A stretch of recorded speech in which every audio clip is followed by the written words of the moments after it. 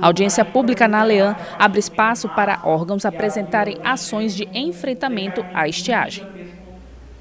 Os impactos da estiagem de 2024 já estão sendo sentidos em alguns municípios do Amazonas, em especial nas calhas do Purus, Juruá e Alto Solimões. Segundo a pesquisadora do Serviço Geológico do Brasil, quando o rio começa a descer a partir de 20 centímetros, já é considerada intensa. Já o Rio Solimões, ali na região de Tabatinga, que a gente chama de cabeceira, apresenta descidas mais intensas para esse período, acima de 20 centímetros, e na semana passada até se intensificou, ficando próximo ali de 30. É, a isso indica uma tendência que nos próximos dias, nas próximas semanas, haverá uma descida é, mais acentuada nessa calha do Solimões. O pesquisador do Instituto Nacional de Pesquisas da Amazônia, INPA, Renato Sena, elabora os boletins sobre as bacias hidrográficas do estado. Ele avalia que a região se encontra em continuidade na estiagem de 2023, pois as chuvas deste ano não foram suficientes para se recuperar do período seco. A bacia do Solimões, de uma forma geral, tem níveis muito baixos e está experimentando níveis muito baixos de precipitação nesses rios. Ela se apresenta em deficiência desde julho do ano passado, então nós já estamos com quase 14 meses de chuva deficitária sobre as bacias, as principais bacias da nossa região.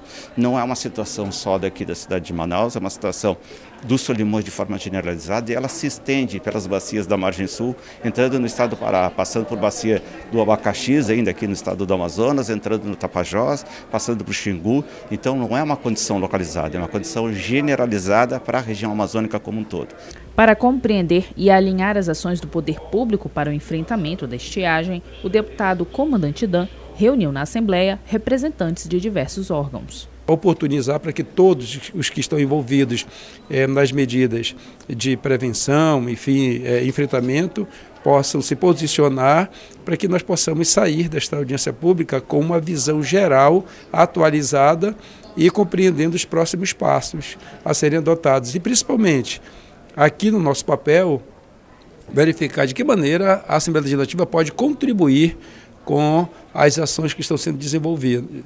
Foram convidados para audiência pública todos os órgãos e instituições que fazem parte do Comitê de Enfrentamento à Estiagem, instituído pelo governo do estado em julho deste ano. Nesse período, também foi decretado situação de emergência ambiental em 20 municípios. A Secretaria Executiva de Pesca e Aquicultura e o Comando de Policiamento Ambiental apresentaram suas ações durante a audiência nós conseguimos 10 mil cestas básicas para os pescadores artesanais que estiverem nos municípios em situação de emergência com relação à estiagem.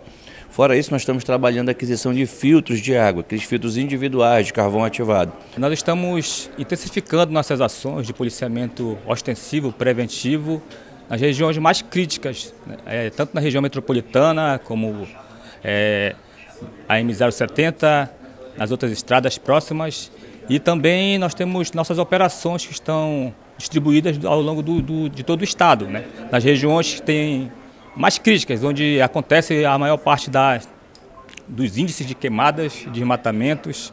O governo do estado já iniciou a preparação de ajuda humanitária aos municípios que estão em situação de emergência. Inicialmente serão enviadas 300 toneladas de alimentos para as famílias afetadas. A partir de segunda-feira já começa a chegar nos municípios. E aí nós temos é, levando em consideração a dificuldade que já temos em algumas regiões, vamos até usar carroça para poder fazer com que esse alimento chegue até essas comunidades. E aí tem embarcações, tem barcos, tem voadeira, carro. Nós vamos usar tudo que for possível